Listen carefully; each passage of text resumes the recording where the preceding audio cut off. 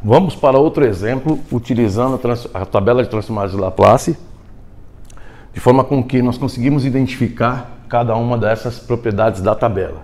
Então aqui eu tenho a função, eu quero descobrir né, a transformada de Laplace da função t ao cubo, venho direto na função t elevado a n. Então observo que meu n vale 3. Então eu vou aplicar essa propriedade aqui como 3 fatorial sobre S elevado a 3 mais 1, que seria N mais 1. Mais 2, eleva 2 vezes E elevado a menos T. O 2 é uma constante, então aqui ele vai ficar como 2. A função é E de menos T, E de AT.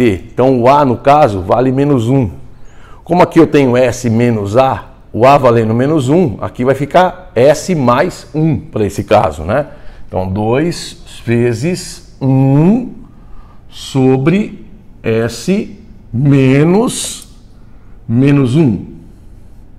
Esse é o caso que você tem que tomar bastante cuidado nessa troca de sinal aqui, tá? Então, por isso que eu já representei com o sinal que aparece na função.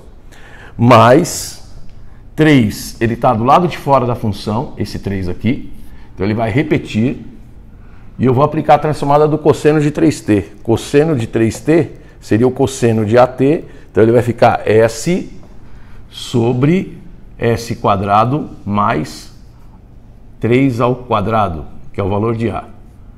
Com isso nós vamos chegar em 3 fatorial, 3 vezes 2 vezes 1 sobre S elevado a 3 mais 1 vai ficar S elevado a quarta mais 2 vezes 1, 2, sobre S menos menos 1, negativo com negativo aqui, uma multiplicação, né? Vai ficar positivo, S mais 1. 3 vezes S, então vai ficar 3S sobre S quadrado mais 9, que seria o 3 ao quadrado. Como eu tenho que ainda fazer a multiplicação aqui, 3 vezes 2, 6, 6 vezes 1, 6. 6 sobre S a quarta, mais 2 sobre S mais 1, mais 3S sobre S quadrado mais 9. Com isso, nós chegamos na resposta da transformada de Laplace para essas três funções que aparecem no exemplo.